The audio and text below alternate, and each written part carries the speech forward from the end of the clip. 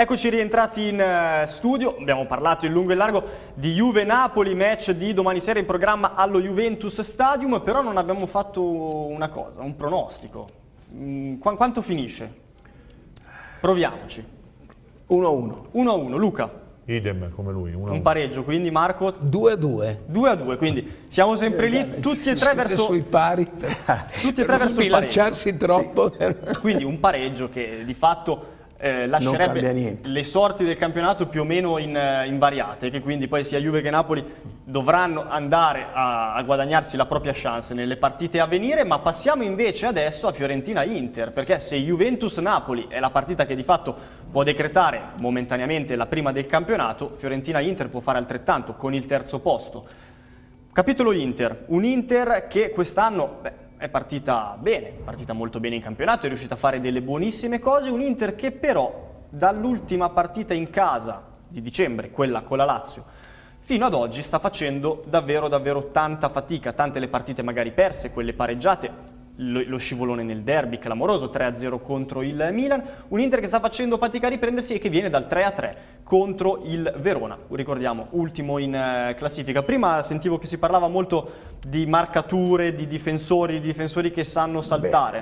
Beh, beh è stata la partita dove eh, sul, piano, sul piano tattico e tecnico abbiamo visto delle cose che non esistono in una squadra di marcantoni come sono l'Inter e tutto, però secondo me eh, qui ricambio quello che stavamo dicendo prima, il, eh, il caro signor Mancini o non, ha, o non ha lavorato in una maniera come sta facendo in questi giorni per colmare questo, questo uh, debito che hanno, perché non si può prendere tre gol. E Andanovic è la prima volta forse che non ha preso una volta un pallone che ha preso tre gol.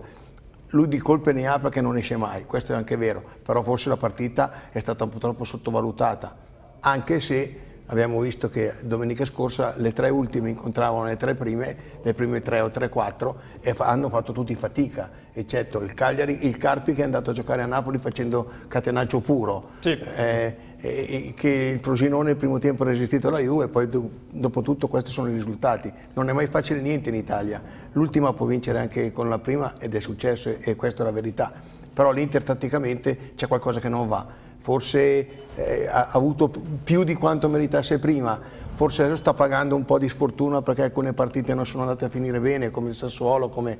questa è la verità, però l'Inter c'è qualche problemino, ma secondo me è un problema che parte dall'alto per arrivare tutto completamente alla squadra. Luca, un problema che parte dall'alto, un problema che probabilmente riguarda anche la testa di certi giocatori. Faccio una domanda su Roberto Mancini, perché noi quest'anno abbiamo assistito già l'anno scorso a un Roberto Mancini diverso rispetto a quello che ci ricordavamo dei suoi eh, trascorsi in Italia. Un Roberto Mancini che è stato anche diciamo, classificato come eh, l'Englishman, mm, un Roberto Mancini quasi zen, qualcuno addirittura l'ha chiamato, poi ci fu quell'episodio di Napoli in Coppa Italia dove ebbe quella diatriba, anche giusta, nei confronti di Maurizio Sarri, poi quello scivolone non solo dell'Inter nel derby ma anche suo, Mancini viene espulso torna negli spogliatoi, fa quel gestaccio ai tifosi, sta perdendo la testa, l'ha persa, cosa sta succedendo Mancini? C'è sicuramente parecchio nervoso perché sta capendo probabilmente che la situazione gli sta scivolando di mano e, e aveva fatto molto probabilmente la bocca buona nei primi mesi di stagione quando l'Inter era al vertice e, e molti pensavano che se la giocasse fino alla fine. Io credo che l'Inter non sia in crisi, io credo che non sia, o meglio, eh, sicuramente l'Inter non è una squadra a scudetto e non è nemmeno adesso una squadra medio-bassa classifica come gli ultimi risultati fanno pensare l'Inter è una squadra quinto, sesto, quarto, quinto posto e quindi bene o male in linea con quello che è il reale valore della squadra. Eh, c'è poco da fare, quindi non è, io non parlerei di crisi, parlerei di, magari di una fase del campionato un po' problematica, ma questa squadra può arrivare lì, può arrivare al quarto, quinto posto, non credo che possa, sicuramente le prime due sono fuori portata, ma per il terzo posto vedo favorita la Roma, perché ha un organico superiore.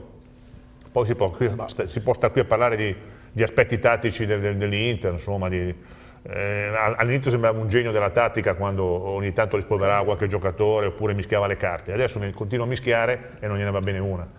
Eh, Secondo me invece eh, no, su questo non sono molto d'accordo con, uh, con, Luca, penso che sia una crisi conclamata intanto. Sì. Perché non c'è solo l'episodio dei tre, tre, gol presi fotocopia a Verona, ma nel giro di tre partite in una eh, difesa che era veramente imbattuta con il miglior portiere del campionato in quel momento o tra i due migliori con Buffon, nella difesa generale dove c'erano due centrali che funzionavano, dove andavano d'accordo tutti, eccetera, eccetera, e di colpo prendi in tre partite nove gol, vuol dire che da lì è esplosa poi e di conseguenza è venuto fuori un allenatore che di solito è molto tranquillo, molto polemico, che se la prende quasi sempre con gli arbitri, che litiga ed è con la stampa, che va in conferenza stampa già nervoso e, tutto, e viene trasmesse da cose che lui avrà intuito che sono poi cose anche societarie, parliamoci chiaro, ma anche Nidane in milanese. Ragion per cui da lì eh, è un po' per me è da quello che discende un po' tutto. E i ragazzi psicologicamente questo lo avvertano anche se io non so poi le cose interne se tutto è arrivato eh, dal punto di vista economico per, per, tutto lo staff sempre perfetto, puntuale questo noi non lo possiamo sapere e non lo saprà mai nessuno probabilmente. Però l'atmosfera che si respira quando c'è una società che eh, ha dei problemi dei seri problemi, si trasmette inevitabilmente su tutto. Per me uno dei problemi è quella. Vi ricordate la Lazio come è entrato in, te, in campo Felipe Melo? Vi ricordate che disastri sono avvenuti in quella partita lì con una Lazio che era, eh, che era in crisi? Da lì è partito tutto per conto sì, mio. Sì, è partito tutto da quella partita. È partito tutto Candreva realizzò un Poi che l'Inter adesso può essere, sì, da scudetto, ma non c'è, credo nessuno, neanche tra i più accaniti tifosi che poteva pensare che era uno scudetto da, da vincere in carrozza con una difesa che era 10 gol presi, credo che nessuno però almeno da puntare per i primi tre posti, invece adesso vedo come tremendamente difficili, su questo anch'io la penso come Luca, tremendamente difficili i primi, i primi tre posti e sarà un'impresa entrare in, in, Coppa dei Campioni. Io Anche se Mancini ha sempre detto che lui puntava al terzo posto. Che, che questo, che questo però, era l'aspetto massimo. Se tu analizzi l'organico dell'Inter, alla fine, Felipe Melo è vero ha avuto quel momento, ma Felipe Melo non è nuovo queste cose qua, certo. le ha sempre fatte nella sua carriera, quindi sì, ogni tanto gli escono questi momenti. E, e, e c'è tornato, cioè, e, abbiamo già visto queste cose. Poi vai a analizzare tutti i giocatori, Miranda Murillo, coppia di centrali fenomenale a inizio stagione, Murillo l'ha pagato 8 milioni e giocava nel Granada, 19 partite su, in stagione. Sì. Granada vuol dire Udinese, all'Udinese non hanno l'anno naso, all'Udinese i cadaveri li, li, fanno pagare cari, se questo l'ha fatto pagare 8 milioni di euro vuol dire che è un giocatore di media levatura, nazionale, non internazionale, di, di media levatura in Italia parlo. Miranda è un giocatore che all'Atletico Madrid ormai non giocava più, fase nettamente calante, nazionale brasiliano, tutto quello che vogliamo, ma ormai la nazionale brasiliana non è che sia la nazionale brasiliana. Difesa specialmente. Quindi cioè, alla fine vai a valutare bene la squadra, cosa ti può dare questa squadra? Cioè, io voglio dire, tutti pensavamo che adesso è un momento di grave crisi, ma questa squadra dove poteva arrivare? È più forte della Roma? Perché il Napoli e, e Juventus sono fuori portata, ma se è più forte della Roma allora Secondo uno dice può arrivare giocare. al terzo posto. Però se non è più forte, non è che possiamo... Sì, anche Roma, se la Roma in questo momento, con, con questa Roma crisi qua, tutto, ho capito. Giocare, penso che se la può giocare. Con la Roma e la Fiorentina, eh beh, se loro tre sono i tre se la può giocare. Io, io, io vedo anche... Vedo sono le tre squadre che al momento si stanno giocando il terzo posto. Il terzo posto. Beh, forse la Roma Ora con Spalletti ha un pochino imbroccato la retta via, forse era una Roma un po' vittima anche di se stessa negli ultimi Questo periodi. sicuramente, però se tu analizzi eh, le prestazioni della Roma non sono state così tanto, se non l'ultima un po', un po meglio delle No, no, no, assolutamente. Cioè, questo momento Credo che la Roma abbia fatto un primo no, e poi Spalletti, uno Spalletti ha messo tre giocatori che sono stati determinanti. Questo. Perotti che ha fatto gol, Sharawi ne ha fatti già due e Zuccanovic dietro. Quindi parliamo sì. sempre dall'allenatore e poi dopo cambi gli elementi. No, no, no, Se cambi gli elementi e non è più quella squadra. Io ti stavo dicendo che eh, ha messo a posto la squadra, gli sta venendo anche un po' di fortuna ed è giusto che, che uno ne venga sì, no, e ha messo tre giocatori gioco è vero che e, non è che stia. anche perché ha rischiato anche, anche con l'ultima partita sì, ha rischiato certo. moltissimo con la Sandoria di prendere gol agli ultimi tre minuti Sassuolo se fa segna il rigore Berardi e finisce, finisce pari 1-1 giusto certo, ma certo. poi anche l'Inter anche tutto è il momento che di episodi non ne vanno e quando tu ti sbagli c'è un episodio poi tutto viene considerato però eh, l'Inter se fa rigore può andare poi, bene poi giustamente io continuo a sostenere l'errore dell'Inter sulla costruzione della squadra è concettuale. Sì. Tu quando hai un centravanti da, da 30 gol devi, devi costruire la squadra con due ali che lo mettono che in, se vuoi giocare col 4-3-3. Eh. Certo. Due esterni d'attacco, uno potrebbe essere Perisic, un altro come Perisic. Quello che hai visto domenica, pallone di fuori di Perisic, cross e questi carità che ha anticipato tutto. Così l'Inter doveva giocare così. Quindi, Aveva questi, questi, giocatori qua. Anche mercato di gennaio, poi vabbè per noi è facile parlare qui in, in studio, però l'Inter avrebbe potuto provare quantomeno ad arrivare ad un esterno di destra che potesse giocare da titolare. Ma secondo me l'Inter ha, ha, bisogno di un giocatore in centrocampo, l'unico che ha detto l'ultimo passaggio, che detta, che lì deve prendere i giocatori importanti secondo me. Forse la punta Eder, con i giocatori che aveva già lì l'Inter poteva far di meno, però anche perché però all'Inter gli manca chi fa gol, se non è Icardi che fa gol, chi fa gol?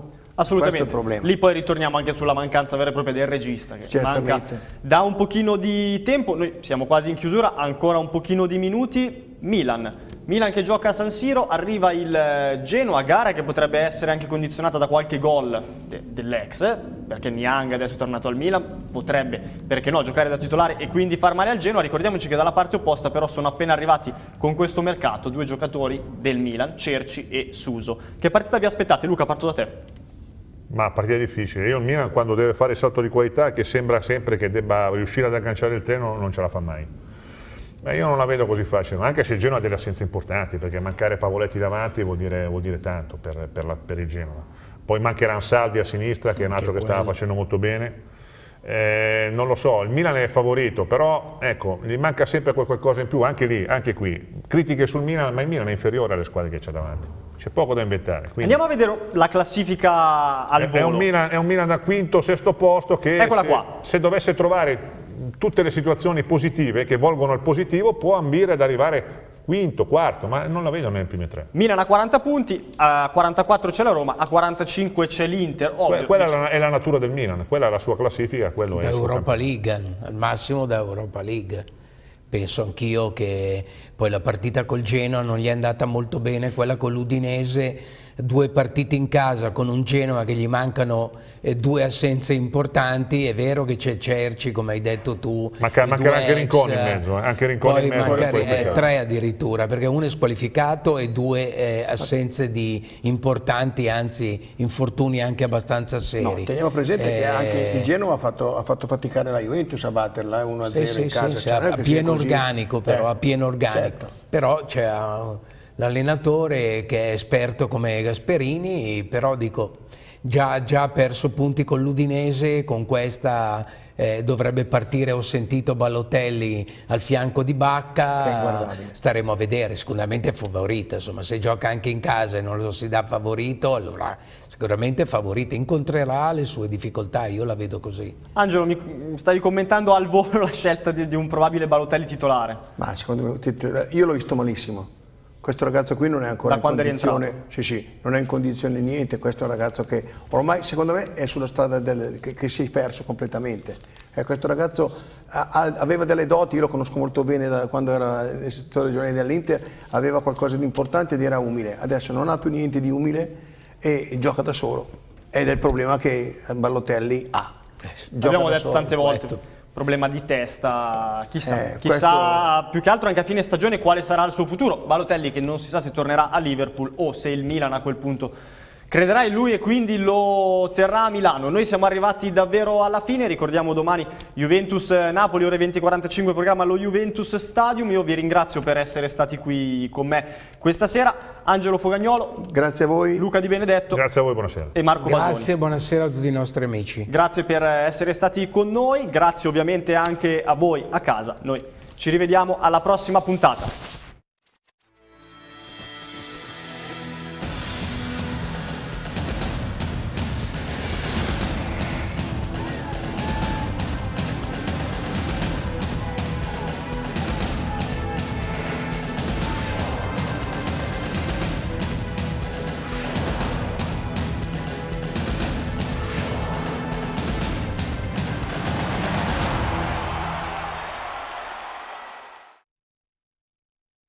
Il programma è stato offerto da Un tuo neo ha cambiato forma, colore o dimensione? IDE è la soluzione per te.